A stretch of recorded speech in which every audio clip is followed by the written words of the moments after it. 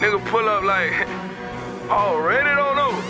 Hey, you know what I'm saying? I told G like, bro, I'm itching, bro. He like, damn, bro, already. already. You know what I'm saying? Already. I told goddamn already. already.